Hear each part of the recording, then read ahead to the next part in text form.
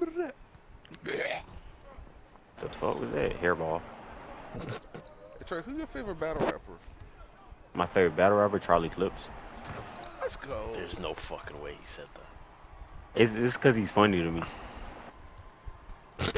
like when. Honestly.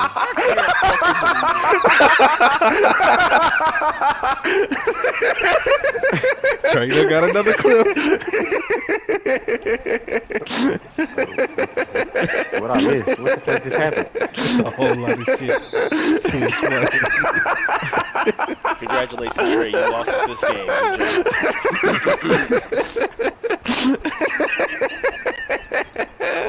It's a whole lot of shit too much funny.